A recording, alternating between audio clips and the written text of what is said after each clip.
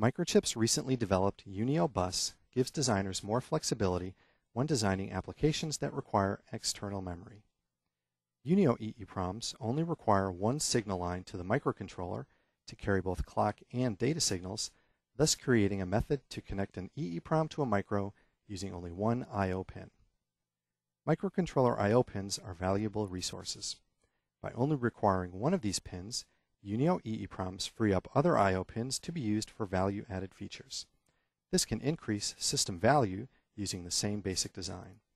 Or it might be possible to lower the system cost by moving to a smaller microcontroller. Another advantage of this bus is that these devices are available in very small 3-lead packages. One pin for clock and data, and the other two pins for voltage and ground. This can mean a lower system cost and smaller designs. Finally, Unio serial EEPROMs have been designed with advanced features such as a status register, advanced write protect options, and page writes. And these devices have the standard EEPROM advantages that we talked about earlier.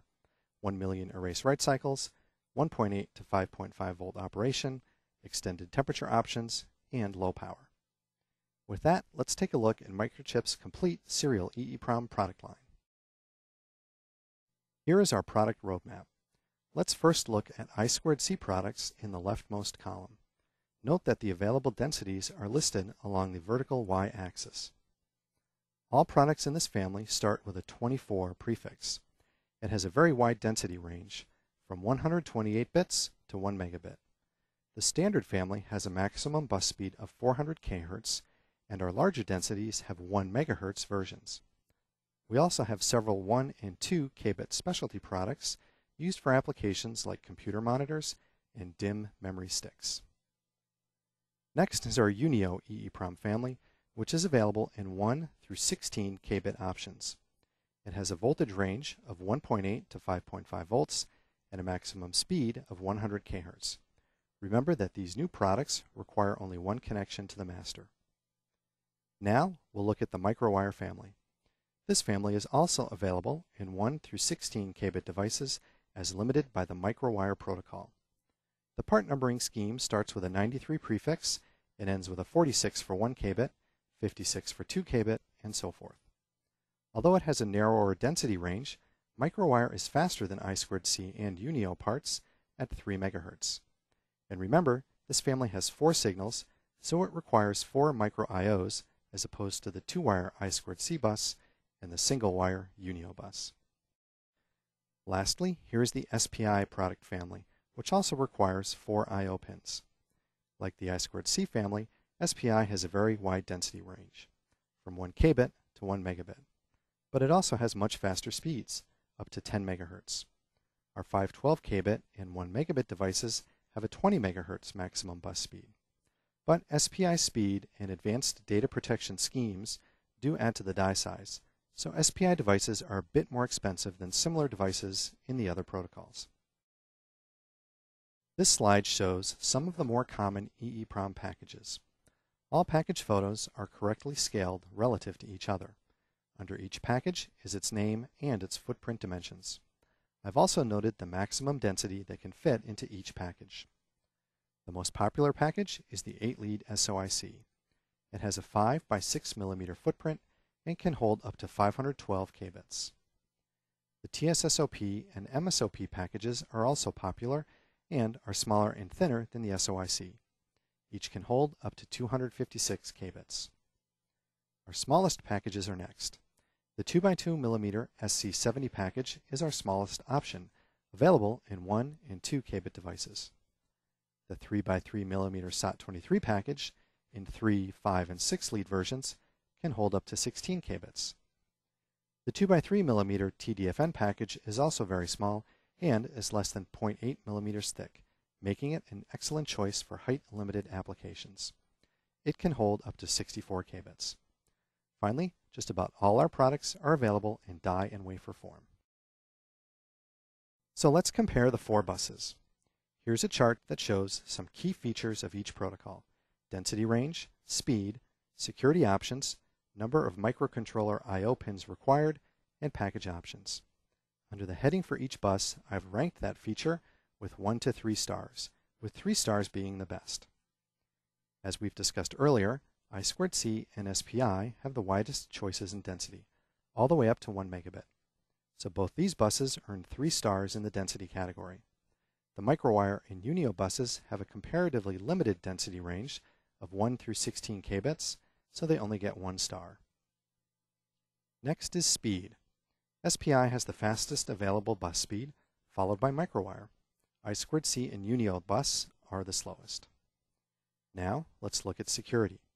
The SPI and Unio protocols have the widest range of security options, featuring both software and hardware data protection schemes. I2C features only hardware write protect, and microwire has the fewest data protection options. The Unio bus is clearly the best in terms of I.O. pins used, since it only requires one microcontroller pin.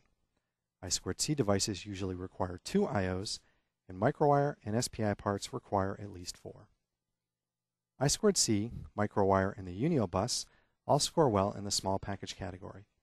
SPI parts require slightly larger packages in most densities. So what's the best bus? That of course depends on the needs of the application. If speed is the most important factor, SPI or microwire is the way to go. If speed at high density is most important, microwire drops out and SPI is the clear choice. I2C is the most popular bus, probably because of its wide density range, small packages, and modest I.O. requirements. And if you are pin limited or space limited, a Unio device may be the best answer. As you can see, there are a lot of choices we offer the flexibility to optimize your design based on your application goals. Regardless of which protocol you choose, it is fairly simple to make the connection to a microcontroller. Many micros have specific ports for each of the buses, or general I.O. ports can be used. We have a couple dozen app notes with code on our website that explain how to connect devices of each bus type. Let's take a moment to recap our agenda. First, we talked about Microchip's long history of manufacturing non-volatile memory. Then we talked about the general features of EEPROMs, small packages, low power, high endurance, byte level flexibility, and operation under a wide range of temperature and voltage conditions. Then we compared the features and advantages of each of the four major buses, including a look at our roadmap. Now let's take a look at the tools we offer for our memory products. Our major EEPROM tool is the MPLAB Starter Kit for serial EEPROM products. It is not just a memory programmer, but a debugging tool. You can use the programming and read functions to write to or read from any microchip device. The tool features byte, block, and array functionality, and you can transfer data to and from external files. It's a very helpful, and inexpensive debug tool. Our customers like its robustness its user interface, and its simplicity. I've already talked about our second major tool, the Total Endurance Modeling Software. Recall that understanding endurance can be crucial. In this free, downloadable software, you can enter application-specific data to model the expected endurance of that application. Finally, we offer a large number of Verilog models on our website for download. We're just about to the end of this seminar, and we've really just hit the highlights of this product line. There is a lot more information available on our website. For more information on the different bus protocols, check out our product datasheets. These have excellent functional descriptions, including timing diagrams, command descriptions, and electrical specifications. We also have many app notes that explain how to connect an EEPROM to a micro using all four buses.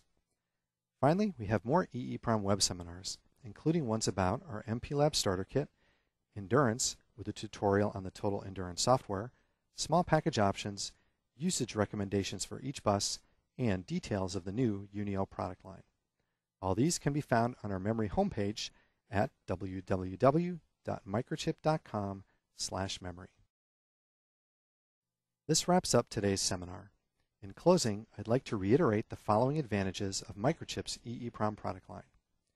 We offer a full line of serial EEPROM products in all three major bus types. And don't forget our Unio line of single I.O. EEPROM products. We offer competitive pricing. We understand that cost is an important component of product selection. All our EEPROM products have industry-leading quality and endurance. We are also the industry leader in small packaging options, including a broad range of products in the SOT23 and 2x3 DFN packages. Finally, we understand how important delivery is to our customers. Because we own our own fabs and our own assembly test facility, we have historically had excellent delivery performance, especially during upcycles when memory product availability tends to become tight.